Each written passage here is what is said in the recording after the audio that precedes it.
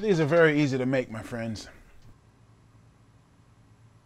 What you need are a pair of uh, ring pliers. You need a blade. Choose any blade you want. If you want a willow blade, use a willow blade. You want a hatchet blade, use a hatchet blade. You need some ring eyes. This is a number five Colorado blade, so I got number five rings. You need some barrel swivels. These are some triple barrel swivels that I had that I've had for several years now. We're just now getting to the last bits of them. You use whatever barrel swivel that you have a treble hook, and this is a number two treble hook. I've not really always been a fan of treble hooks, but this is a 6 aught J hook. If you compare the size, the 6 aught J hook has the same gape as a number two treble hook. What that means for me is I can tie big flies or big lures on my vise with relatively small hooks and I have triple the number of hook points. Barrel swivel, blade, barrel swivel, and you're all connected with the rings and a hook. Now, for this kind of rig, some people don't even bother dressing the back hook. I will always dress the back hook because or put some sort of something on there even put night crawlers or something like that on there to to trigger the fish to bite. You can use any colors you want. I have traditional yellow and white i mean yellow and red. Then i have red white and gray which is these are split rings. They're like little mini small key rings. And so you split it here. Load one swivel there. Add another split ring. Then add your uh, swivel I mean add your blade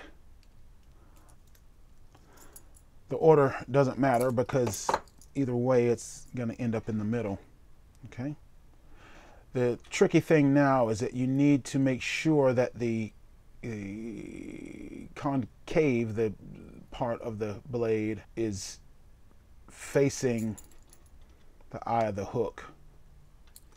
So the curved end portion, the spoon portion needs to be facing the eye of the hook, right? Or else you'll just have it all backward.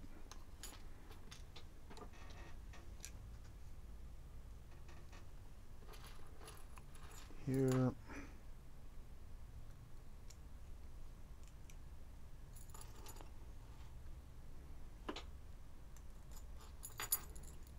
Okay.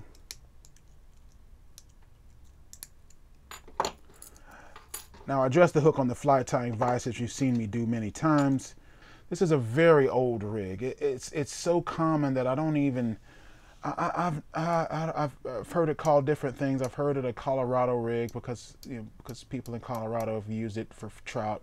I've heard it called a uh, I thought I think I've heard it called a little quill, uh, just because the guy who just didn't know what the name was and gave it his own name. And so I call it a thumper rig, just simply I'm naming it after the thumper swivel.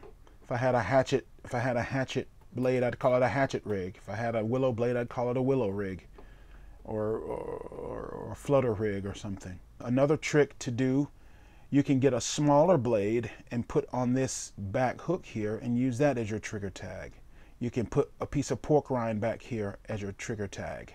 Uh, this is almost a variation on a trolling spoon, except instead of a trolling spoon up front here in the in the hook back here, you're putting a spinner up here instead of back there. This is one of the oldest lures known to mankind, really.